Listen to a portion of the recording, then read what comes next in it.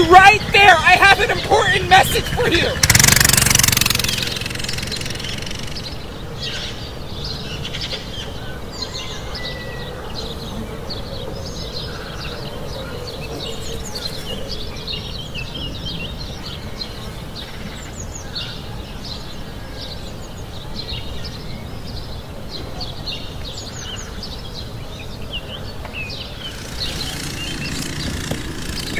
Yourself!